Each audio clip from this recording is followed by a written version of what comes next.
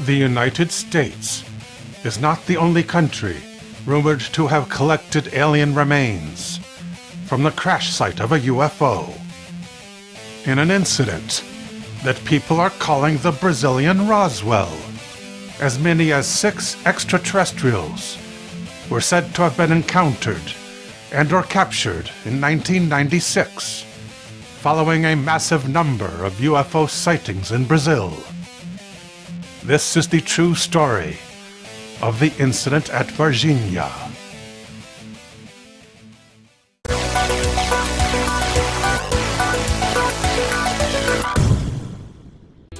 On January 20th, the Brazilian town of Varginha was the center of a flood of UFO sightings, which started with a report from a local farmer and his wife.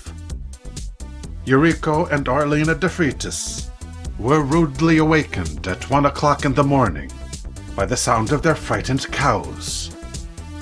Oralina looked out the window to see their cattle stampeding in response to a UFO moving above the pasture.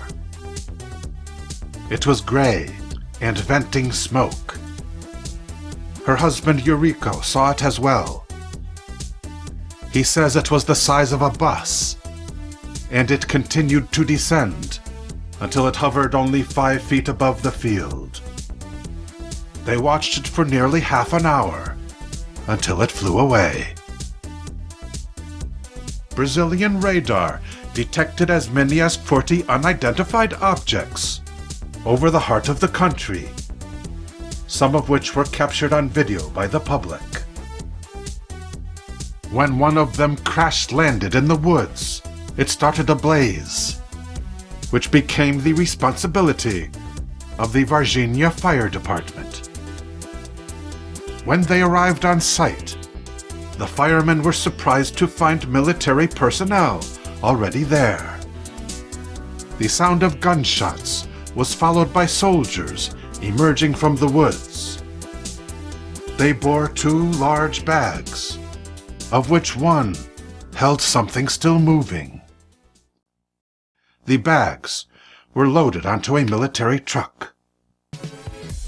That afternoon, two teenage girls, Liliana and Val da Silva, were walking home with another young woman, Katya Xavier, a family friend who just got out of work. They took a shortcut through a part of town which was uninhabited rubble. When the girl saw a creature huddled against a brick wall, Katya screamed.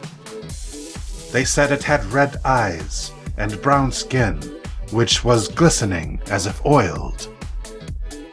It had visibly raised veins on its arms, and on its head were three horns. It looked like it was suffering, and when the girls ran, it did not follow. Liliana told her mother she had seen the devil. Katya and the mother of the young girls returned immediately to the brick wall. They found nothing except for a lingering smell of ammonia, an odor they found so strong that it brought tears to their eyes. After running in front of a patrol car, one of the extraterrestrials was said to have been captured by a policeman using his bare hands. The policeman's name was Marco Chereze. He was 23 years old and in excellent physical shape. He put the creature in the back seat of the car. Its breathing, which was labored, sounded like the buzzing of a beehive. Marco drove to a health clinic, seeking medical help for the injured creature. The clinic turned him away but the city hospital did not. According to eyewitnesses at the hospital, the unworldly being could not be saved by doctors in the emergency room. The following month, in the city zoo, one of the alien creatures was seen lurking.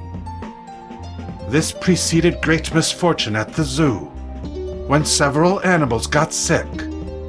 A deer, a llama, and an ocelot came down with the same symptoms, as if they were all exposed to the same pathogen, even though they were different species living in widely separated habitats.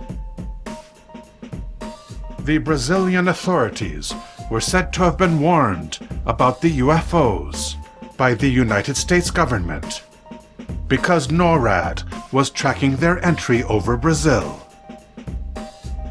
After the incident, alien bodies were allegedly flown to the US aboard an unmarked transport plane. Marco Chereze, the policeman who came into direct contact with the skin of one of the extraterrestrials, also fell ill. His doctors could not agree on a diagnosis. The illness would not respond to antibiotics. Medical testing returned the result that 8% of his blood consisted of unknown toxic substances. As I do not believe However, I have been corrupted